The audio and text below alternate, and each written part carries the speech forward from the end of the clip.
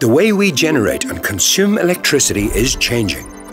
As more people adopt electric vehicles and we look towards a more sustainable future, we need to use the electricity network in a smarter, more flexible way.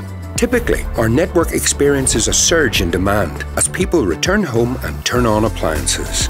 We're inviting electric vehicle drivers who charge at home to participate in an intelligent electric vehicle charging project, testing ways of spreading charging activity through the night to reduce the surge. This means plugging in your vehicle as normal, but charging may take place when demand on the network is lower. Your vehicle would always be charged and ready for when you need it. By joining our trial, you'll be helping to lead the way in preparing our network for a zero carbon future.